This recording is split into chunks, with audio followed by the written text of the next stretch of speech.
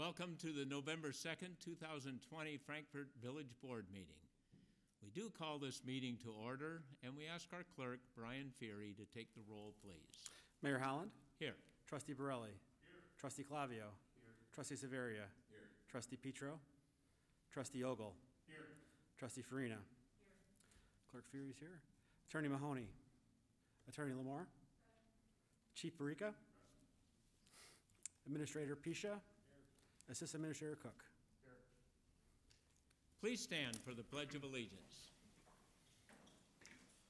I pledge allegiance to the flag of the United States of America and to the republic for which it stands, one nation, under God, indivisible, with liberty and justice for all.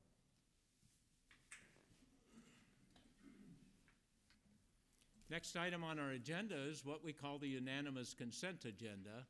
All items on the unanimous consent agenda are considered routine in nature and will be voted on after a single motion. If any of the trustees wants to discuss any of the items on the consent agenda in more detail, well, we'll just remove that item from the consent agenda. So I first ask, do any trustees want to remove any items from the consent agenda? Hearing none, uh, I would entertain a motion to approve the consent agenda. Second. We have a motion by trustee Ogle and a second by trustee Farina to approve the consent agenda. We do want the audience here in the boardroom and the audience at home on the television and on the internet to know something about the items that we're passing, so we'll go over each one of them uh, very briefly. The first item is the approval of the minutes from our last meeting on October 19th. The second item is the approval of the bills, and we'll go to trustee Severia, who is the chairperson of our finance committee, for a report on those. Thank you, Mr. Mayor. Um, bills e this evening were pretty routine in nature, equaling uh, $512,135.70. One item I did notice was an expenditure, expenditure for Jewel for $267.78 for Halloween candy. I'm sure this was used for the Frankfort Police Department Spooky Squad, which I did see in my neighborhood on Saturday. That's all I have today. Well, thank you, Gene. And then we have two items from the Plan Commission, and we'll go to Trustee Clavio, who is our liaison with the Plan Commission. Thank you, Mr. Mayor. As you said, we have two items. The first one is three components to that. It is the Homestead Commercial Development on the southwest corner of Laraway and Wolf Road. The applicant, who I believe is here with us tonight, uh, Brienne Development, Inc., proposes to construct a 9,600 square foot multi-tenant commercial shopping center on the property located at the southwest corner of Laraway and Wolf Road. In facilitating the construction of the proposed development, the applicant requested the granting of special use permits for a planned unit development, outdoor seating, a drive-through, in addition to preliminary plat approval. A July 9th, 2020 public hearing was held on this project, and the Plan Commission discussed the site landscaping, photometrics, traffic, and signage plans for the proposed homestead commercial development. After much and lengthy discussion, the commissioners forwarded three unanimous seven to nothing recommendations at the village board to approve special use permits for a planned unit development and outdoor seating and the preliminary plat. The commission did not recommend approval of the requested special use permit for the drive-through. After receiving the plan commission recommendations, the applicant presented revised plans for the commercial development, removing the proposed drive-through facility. The applicant requests village board approval of the revised site plan as recommended by Plan Commission. So before us tonight, Mr. Mayor, as, as I said, is three motions. The first one is a special use permit for the plan unit development, which that motion is to accept the Plan Commission recommendation, waive the first and second readings, and pass an ordinance granting a special use permit for a planned unit development to permit permit the construction of a 9,000 square, 600 square foot multi-tenant commercial shopping center on the property located at the southwest corner of Laraway and Wolf Road in accordance with the approved plans and public testimony. The second motion is a special use permit for outdoor seating. Before us is to accept the Plan Commission recommendation, waive the first and second readings, and pass an ordinance granting a special use permit for outdoor seating in connection with a 9,600 square foot multi-tenant commercial shopping center on the property located at the southwest corner of Laraway and Wolf Road in accordance with the approved plans and public testimony and conditioned upon no outdoor music. The third item is the preliminary plat approval. Before us tonight is to accept the Plan Commission recommendation and approve the preliminary plat for Southwest Corner, Laraway, and Wolf Retail, Frankfort, Illinois, prepared by Design Tech Engineering, Inc., dated October 18th, 2019, revised October 29th, 2020, in accordance with the reviewed plans. The second item we have, Mr. Mayor, is a little bit of a housekeeping matter. The Village of Frankfort currently owns the property located at 1 North White Street. The property is improved with a single-story commercial building that was previously leased to my sisters and me. The lease for the property was terminated, and the village board has listed a portion of the property for sale at this time. The public right-of-way along the frontage of the property is prescriptive and was never formally dedicated to the village.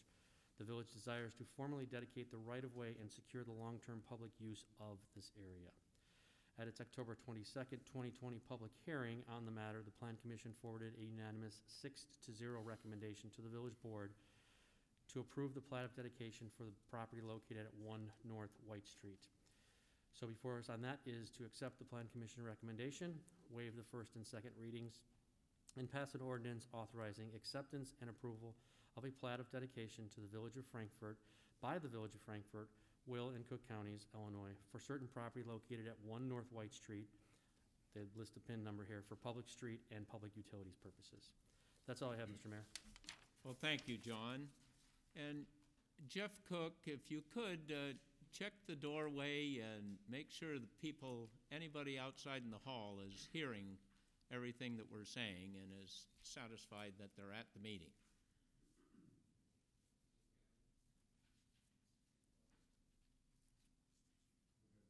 We're good. Oh, that's excellent. Thank you all very much. Uh, So at this time, those are all of the items on the unanimous consent agenda. And before we uh, discuss them or vote on them, is there anyone who wanted to make a comment to the village board about any of these particular items? Please, Dave.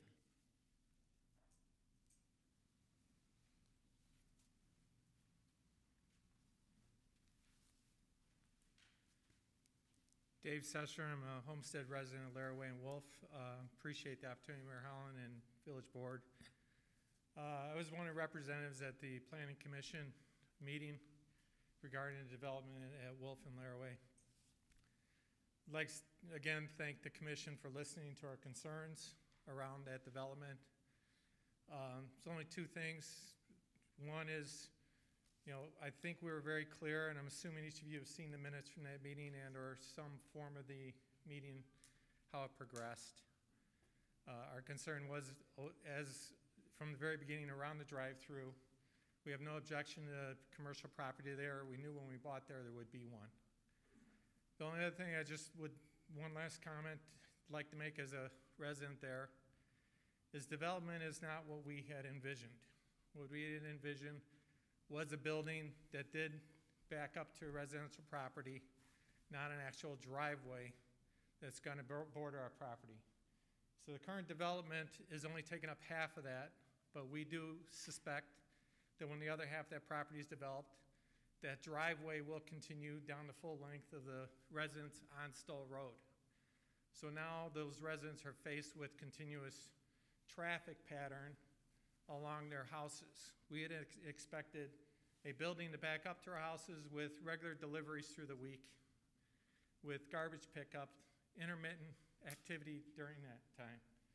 So this property is a bit unique in the village because it's one of the smaller ones around corners that are available in the, in the village.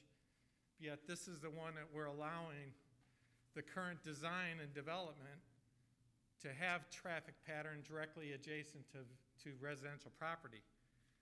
So I can't help that that property was purchased, but the change in design from what was presented to us many years ago from the previous developer, or I don't even know if it was the same developer, I honestly don't know. But that was a building that backed up to the residence with traffic pattern all in the front of the building. Now, I know the current design meets all the ordinance requirements. I, the drive pattern, the, the way the curbs are cut, those are all set in stone the way they are, just because the way the county and the village need to work together. I just wanted to feel satisfied to express my opinion about the way it's laid out today, in terms of the building being in the middle of the property, allowing a drive along the back, adjacent to residents, versus that corner specifically, the building being positioned to where we would have less disruption to our families with ongoing daily traffic. So, that's it. Thank you. Thank you, Dave. Anyone else? Then, are any comments from the trustees before we vote? We'll go to our clerk, Brian Ferry, for the vote. Trustee Ogle? Yes. Trustee Farina? Yes. Trustee Clavio? Yes. Trustee Borelli? Yes. Trustee Zaveria? Yes. Motion carries. Next item on our agenda is what we call the mayor's report. The first item on the mayor's report is the virtual Veterans Day ceremony scheduled for November 11th. And this will be on uh, video, and it will be the Hickory Creek uh, Middle School musicians uh, and uh, the Village of Frankfort together putting on a Veterans Day uh, program. And it'll be very nice indeed with musical selections, patriotic music, and uh, some narration uh, by the mayor. And we were filming that this morning, and it was fun indeed. So they're going to start that, I think, on November 11th, and it'll probably run for a week or two, and we'll be uh, running it here on our channel, as well as however the uh, school district gets it out. But it's the Hickory Creek uh, Middle School Band and Orchestra instrumentalists who will be involved. Uh, leaf and branch pickup update. Uh, the leaf program goes until on November 23rd, and then there's one final branch and leaf collection scheduled uh, for the last week of November, really first week of December. So keep that in mind. Nobody's picking up branches right now. They get picked up uh, at the end of the month, and uh, the leaf pickup will keep going uh, until then, too. Uh, Shop Small Business Saturday event is coming up on November 28th. Uh, that is a national type event. Uh, it was originated of, uh, by, of all people, American Express uh, helped to get that uh, program going. And it encourages customers to shop at small businesses throughout their community. Um, we do encourage that in our community. Holiday Beautification Award nominations are due by December 17th. I suspect there aren't very many people with their Christmas decorations up yet, uh, but if you want to nominate somebody because they have great Halloween decorations, that's fine with me, uh, and fine with the village, and we'd be happy to recognize them. Uh, so that's something to think about too. Uh, the village offices are closed on uh, Veterans Day, so November 11th, the village will be closed. And that concludes the uh, mayor's report. And we'll go on to our police chief, John Barica, for the police department report.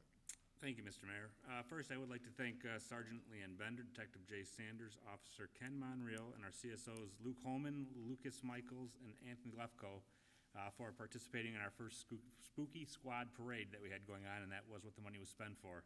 Uh, They had over 6,000 uh, pieces of candy that they distributed throughout uh, the day. Um, And although I know it didn't go perfect, some people said they didn't see them, they did try getting everywhere, and I think for the first year, they did a really good job, uh, especially with the last-minute change from not being able to have our, uh, our usual uh, events going on. Um, I'd also like to remind people uh, that we continue to see a spike in the identity thefts, especially the unemployment. If you do get that, make sure that you do file a report with the police department. You can do that online uh, by going to the website, or you can call one of the officers or come to the police station, but you should always uh, make sure you make the report, and we'll give you some more information on that. Uh, Obviously, um, people know that tomorrow is Election Day. We want to remind people that uh, with lots of news out there and then things going on, if they happen to see anything suspicious or something comes up, uh, of course, reach out to the police department. Uh, We will respond and check out anything they have going on, and of course, if anything else comes up, we will make sure we notify anybody as soon as we can. Finally, of course, lock your doors, take your keys and key fobs in, uh, and put your garage doors down every night. And That's all I have tonight. Thank you, John. And now for the village administrator's report, we go to our village administrator, Rob Pisha.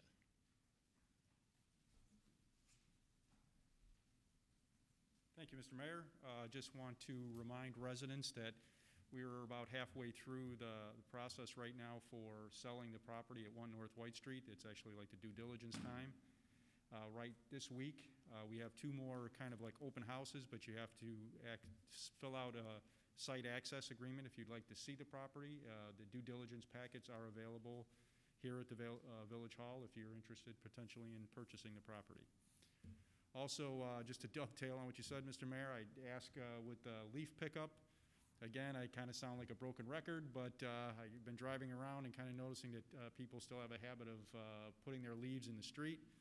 It is a problem for uh, Public Works, is that if we get any rain during this time, that the leaves end up uh, clogging up the uh, the sewers, and we potentially have a a flooding issue.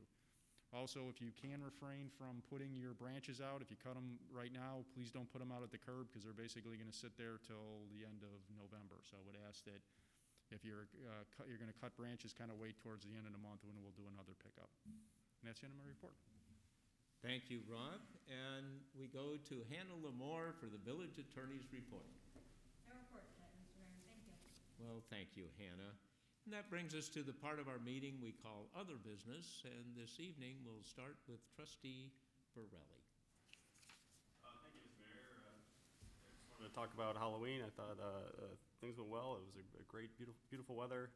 Um, The chamber had that nice uh, window walk event, and then uh, between that, the spooky squad, which uh, I think the kids really enjoyed, and appreciate the, the police coming up with a creative way to, to reach the, the children. I think that was a great idea. And then we expanded the trick or treat hours, and I think that was uh, pretty successful. And uh, um, you know, when a, a nice day in downtown uh, Frankfort on Halloween is, just nothing better than it. You know, walking through the leaves uh, with all the beautiful colors, it's just uh, picturesque, and it was just a, a, a beautiful day. Um, lot of people were, had the shoots and using the bowls, and, and uh, I thought people were trying to be very respectful uh, of COVID safety. Um, so I thought it were really well, and it was very efficient too for the kids. My kids really came home with a lot of candy because instead of knocking on the doors, you just go and grab from this bowl. And, and anyway, it was it was I thought it went very well. So uh, I wanted to also thank uh, staff. Um, so early voting we held here for, for you know uh, the last couple weeks, and that's something that the clerk's office doesn't pay for. They they provide the equipment, but actually it's village staff that that performs that. So our tax our residents' tax dollars is paying for that service. I think our residents enjoy it. Um, we, I'll let uh, clerk uh, provide the numbers, but I got a chance to, to help out on the, the final Friday, and uh, it was amazing. Uh, you know, special thanks to Teresa Cork and, and Sue and, and Heather for, for doing for sitting there for eight hours a day for, for two weeks. I think it's a great service to our residents. Um, just doing it for two hours, I was, you know, it was getting pretty pretty challenging. So uh, God bless them. I appreciate uh, their work, and I'm, I'm glad that uh, we provide that service. I think it's something our residents uh, really enjoy.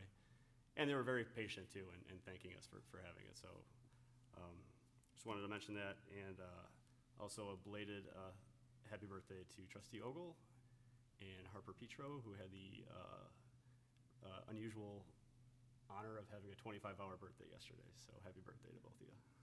That's all I have, Mr. Mayor. Thank you, Adam. Trustee Ogle. Thank you, Mayor, Uh, and Adam, thank you. Um, There's a couple things I have here tonight here. Um, At our last meeting, uh, I talked that we was going to have a report on the 911 center, the Laraway Center. Uh, That meeting there was actually canceled, and uh, they're moving that forward. Uh, There are some, some things I should be able to report back perhaps uh, in December on that. Um, As, as Adam uh, had mentioned too, too, we certainly want to uh, thank our staff here for how they've handled the early voting. Uh, There were great lines, this was a tremendous turnout, and uh, uh, once again, uh, village staff has gone above and beyond for our residents, and we just want to thank them, and uh, it was fantastic. The the Halloween, uh, between the spooky squad, which uh, I made sure I was out at the street to to wave to them, and uh, let some of my neighbors know. Uh, Our our little first grade neighbor, she was all excited that they were coming out there. She was waiting for them. Uh, But we had a lot of comments, uh, some that came just from people that were coming to the door, but also uh, some came in electronically about uh, how how happy people were that, uh, you know, for, especially if they had small children, that there was this effort made to try to bring some normalcy to this time and also bring some fun but also that uh, uh, it's, it's not strictly an American trait, but uh, the ingenuity of things. Um, There were a lot of things out there uh, as far as people, how they approached uh, safety in this COVID time to get candy to the children, um, and uh, had some fun with it. And there were some very creative things out there, and my family, we had some fun with ours as well. And it, it was, it was really a, a tremendous time. Um, we're hitting daylight savings time, which happened to be fall on my birthday this year, but it's also a good time to check and change out your smoke detector batteries. And a friend of mine also had an issue that popped up the other day, and I, I want to make sure people understand this too. Your CO2 detectors that you have, those do not last all that, that long. They're generally five to seven years. And then the sensors uh, tend to go bad. Now, if you've also done some COVID remodeling this year, like most of us have done uh, while we've been locked in, the dust, uh, paint, some of the other things that go on there can, uh, can affect those sensors. So uh, make sure that you do check those, and they're easy to replace and they're very inexpensive. Now, the last item I had here, Mayor, um, is something that, um, since we are on somewhat of a, a timeline uh, to do some things, um, in discussions with business owners and a few other, other folks here too, and also what some other communities have done, uh, we are coming up to renewals for business licenses at the end of the year, as well as liquor licenses. Um, I had a discussion with one of the business owners probably a month or so ago. And we were talking about just some small business that transacts through there. When you have a small business, sometimes the difference of $40 is whether you're paying the light bill uh, for the month or your internet service. Um, I think we, this would be something I'd be happy to uh, have on the agenda next week for the land use and policy, is maybe considering, our, our board considering and discussing uh, waiving the business license renewal fees for renewals and possibly uh, uh, the liquor license fees. Our, our restaurants and these are probably the most impacted at this point locally. Um, Homer Glen has done this. Um, it is something that uh, I think we could also uh, apply for reimbursement from the federal government through the CARES Act. I think there's still some more money in that, but uh, um, if that's something that the board would be willing to look at, uh, I'd be happy to entertain it on uh, the Land Use Committee next week. That's all I have, Mayor. Thank you, Keith. Uh, Administrator Pisha, do you want to make any comment on where we are on that particular issue?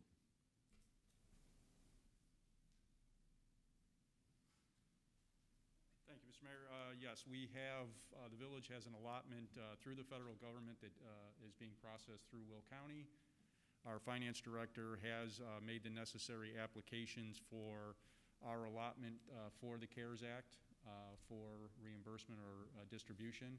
So hopefully, we'll be getting that- those funds soon. We haven't received them yet, but we have taken the necessary steps and have been approved for our, our allotment. And, and it is a certain amount, and right now, we're getting all of it. Yes, sir. Yeah, it's eight hundred something thousand dollars. I mean, it's not a small amount for Correct. our community that has a budget around eighteen million or so. Yes.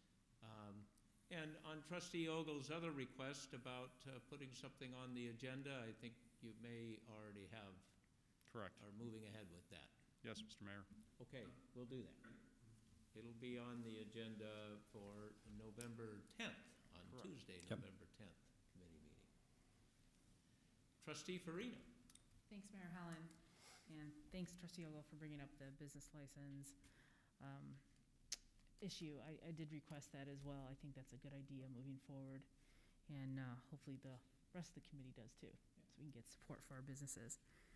Uh, I, I also want to acknowledge staff uh, from the last two weeks and staffing the early voter registration. Teresa Cork, uh, Sue Lynchy, and Heather Smith uh, they were in here every day and making sure uh, that we all got our right to vote. I did vote early, and so I was in line, and I got to see the process up close. And uh, they were behind plexiglass, and there was sanitizing and stuff. So, um, besides helping us with our right to vote, they um, were putting their lives at stake as well. So I really appreciate that our staff did that, and um, it means a lot, I think, to our village and our residents. I know there were over I think 4,000 people who came out village clerk ferry, which is huge, which is huge. So thank you to those ladies.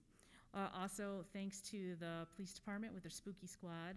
I think that was a great alternative for this year. I know there were a lot of families I spoke to who did not go trick or treating. And due to COVID 19, um, my family, we were very limited in our um, activities as well. So that was a nice treat for the children. And they did get a lot of candy. Um, and all the kids on the cul-de-sac did run down and, and, and enjoy that. So I got a cute pictures. I think I sent them to you um, for the newsletter or something if you wanted it. So thank you for, for doing that. And that's my report tonight. Thank you, Margaret. Trustee Severia. Thank you, Mr. Mayor. Um, Next Wednesday, November 11th, is Veterans Day. I'd just like to recognize all the men and women who have served over our country over the years, um, especially the ones who have made the ultimate sacrifice. And thank you, Mr. Mayor, for your service. Well, and thank you, Gene. You're welcome. Um, Also, if you haven't already voted by uh, mail or or early voting, um, make your voice heard and vote tomorrow. tomorrow. And that's all I have. Thank you, Gene. Trustee Clavio. Thank you, Mr. Mayor. Um, I clearly will be dittoing a lot of stuff. Um, I think it's in this uh, pandemic phase that we're in, the term pivoting is becoming the optimum word, and thank you, Chief and the Police Department for pivoting with our spooky squad. Uh, Great new idea, as everybody's indicated. Uh, Gene, thank you for stealing my thunder about uh, Veterans Day. Um, I would be remiss in not saying thank you to you and the mayor for your service.